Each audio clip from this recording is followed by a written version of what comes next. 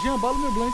Então, Mila Spook sente prazer nas cenas, que é uma coisa que sempre perguntam também. Ah, você consegue gozar em cena? É, eu vou dizer que assim, ó, gozar, gozar, eu não gozo. Eu acho que, tipo, nunca teve uma cena, um, um filme mesmo, que eu tenha gozado. Porque eu não gozo com penetração.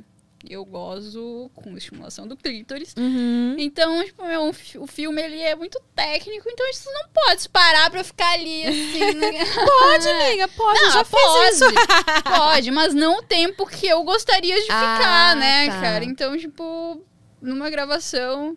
Por isso que eu gosto das coisas mais naturais. Um sexo. Mas não teve mais- nenhum filme que te deixaram mais livre, assim, pra.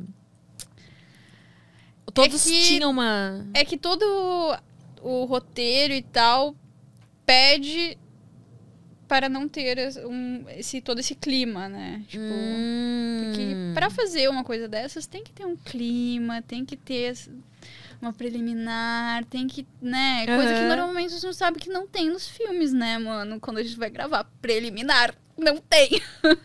é muito difícil. E não me diga que sexo oral é é preliminar, Pra mim porque é. não é. não é. Ah, tá. Não, você tá falando é- do é beijo a na última- boca. É, a- aquele carinho, aquela coisa toda, assim. Viu, gente? Mila Spook é romântica. Ai, Por essa vocês não esperavam, né? Adoro um beijo na boca, um carinho, um serinho do cangote. Oh, é isso que tá faltando, então. Acho muito. E na direção dos seus filmes, você não. É que é difícil, não tem como você dirigir, né? E você atuar ao mesmo tempo é mais difícil, né?